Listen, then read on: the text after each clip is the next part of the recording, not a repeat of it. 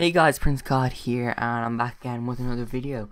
This is probably something really different to what you normally see on my channel, but this is a speed art that I did. It's um, of a Minecraft guy, and he's just kind of running away. Um, I don't have it put in, but it's as if he was kind of running away from like a creeper or something like that, and he's kind of got that scared kind of looking face to him.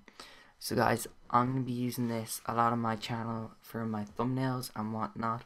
If you guys want to check out my brand new modded survival series, you can go and do that because I'm going to be using this picture in the thumbnails for that so you can look out for that on my channel.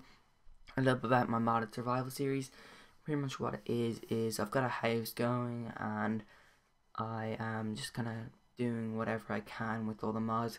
I've got a lot of them in mods installed and a lot of them are kind of small mods they don't add in too many items but they do a lot of stuff like there's one mod that simply adds a double door that when you hit one of them both of them open simple mods like that to just help the game go just a little bit nicer and smoother so guys i hope you have enjoyed this speed art and i hope to see you guys in my next video of minecraft or maybe soon another speed art. So i'll see you guys then and have a nice day. Goodbye